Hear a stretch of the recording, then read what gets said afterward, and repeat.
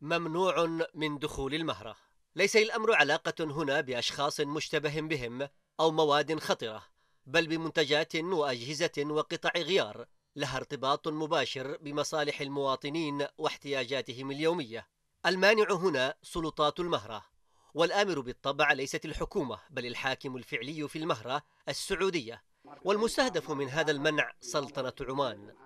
السلطات الرسمية في المهرة أصدرت أوامر بمنع دخول أي منتجات آتية من سلطنة عمان وحددت مذكرة صادرة من مكتب محافظ المهرة راجح باكريت أسماء مواد معينة يمنع عبورها من منفذي شحن وصرفيت الحدوديين مع السلطنة.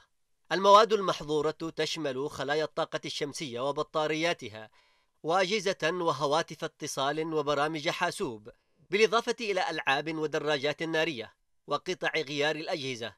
وكان من اللافت أن من ضمن المواد المحظورة سيارات الدفع الرباعي التي منعت الرياض دخولها إلى اليمن عبر منفذ الوديعة. الإجراءات الأخيرة تتزامن مع علوق مئات اليمنيين في منفذ شحن بعد منع السلطات العمانية عبورهم إلى دول مختلفة بينهم طلاب ومرضى ومغتربون. كانت المهرة قد شهدت اتفاقا يقضي بتوقف التدخل السعودي في شؤون المهرة بعد اعتصامات شعبية بدأت في الخامس والعشرين من يونيو الماضي طالبت باحترام السيادة الوطنية.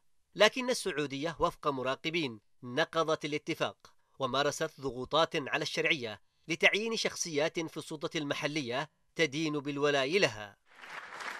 فيما يبدو فإن المهرة تتجه وفق محللين لتصبح ساحة لتصفية حسابات بين الرياض ومسقط الخاسر فيها الاقتصاد المهري واليمنيون الذين كانت حدود المهرة متنفسا لهم في الانتقال إلى العالم وقبل ذلك كله السيادة الوطنية.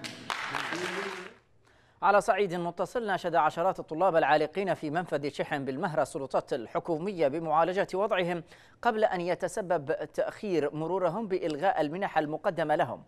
وقال الطلاب في بيان لهم إن نحو 180 طالبا ممن حصلوا على منحة متكاملة من جمهورية الصين الشعبية مهددون بمصادرة منحهم وإلغاء قبولهم في الجامعات الصينية بسبب تأخرهم عن التسجيل وبقائهم في المنفذ منذ نحو أسبوعين. وناشد الطلاب الحكومة والجهات ذات العلاقة بالتحرك العاجل والتواصل مع الجانب العماني لتسهيل مرورهم.